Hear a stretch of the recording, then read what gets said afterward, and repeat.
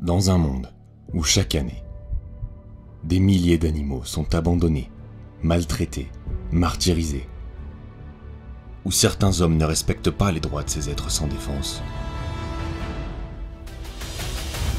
une poignée d'hommes et de femmes courageux ont choisi d'allier leurs forces et leurs réseaux pour se battre ensemble et leur rendre justice.